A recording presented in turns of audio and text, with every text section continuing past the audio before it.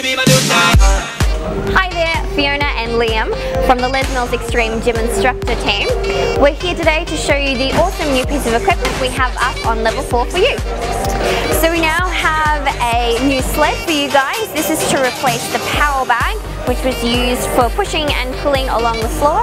We've replaced it so that the power bags stay in top condition for you up here on level 4. To load up the sled, bend at the knees, pop the weight plate through the middle pole and watch those fingers.